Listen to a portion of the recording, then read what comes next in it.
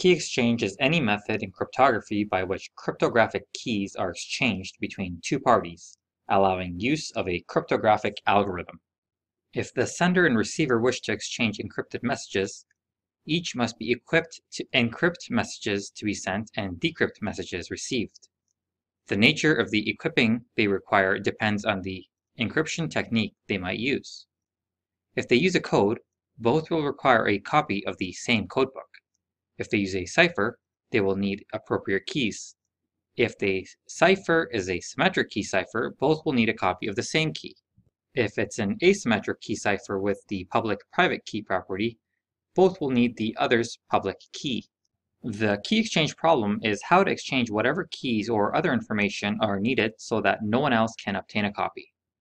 Historically, before the invention of public key cryptography, Symmetric key cryptography utilized a secret key to encrypt and decrypt information.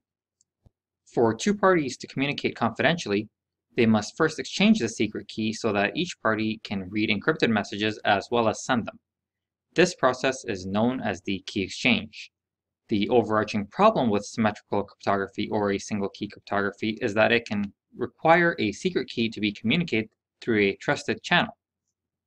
If the two parties cannot establish a secure initial key exchange, they cannot communicate securely without the risk of the key being compromised.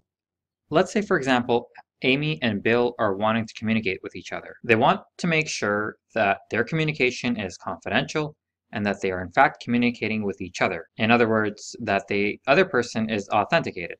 When Amy randomly selects her secret key, she has to somehow send it to Bill. But she doesn't yet have a secure channel to communicate with Bill, so she can't encrypt the key. If she sends it by email or some other unencrypted means, a third party, like Mal, might intercept the key in transit and use the key to eavesdrop on all subsequent communications between Amy and Bill. To compound the problem, what would Bill do once he received the key from Amy? He has no way of verifying that the key sent to him was in fact from Amy. If Mal is clever, he could impersonate Bill and send a fake key to Amy, then impersonate Amy and send a fake key to Bill. This would have the same effect as intercepting the key that Amy was originally sending to Bill legitimately, and Mal would be able to eavesdrop on all their communications. The solution to this would be to use a out-of-band key exchange. This simply means that Amy and Bill can use a different channel that they both trust. For example, if they are familiar with each other's appearance, they may arrange a face-to-face meeting at a local coffee shop, or if they are familiar with each other's voices, they may call each other. These options, however, present their own set of challenges. For example, what if Amy and Bill live in two different cities? Arranging a face-to-face meeting in that instance would not be feasible. The alternative solution is to use a in-band key exchange. In an in-band key exchange, the key exchange is done digitally, and one way this can be done is through the Diffie-Hellman algorithm, which we will discuss next.